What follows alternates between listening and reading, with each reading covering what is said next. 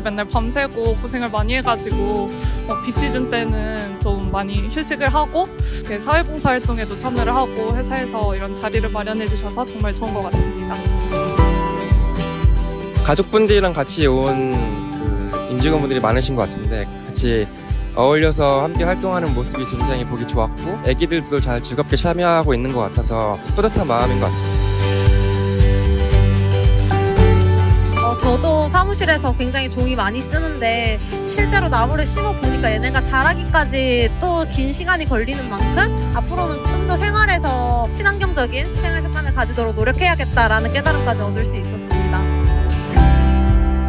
제가 어떻게 보면 사회에서 받은 혜택들을 다시 돌려준다는 느낌도 있었고 또 개인적으로는 봉사활동을 하고 나서 이제 만족감을 느낄 수 있고 또 약간 자존감이 높아지는 기회가 되는 것 같아서 네, 봉사활동을 네, 자주 하고 있습니다.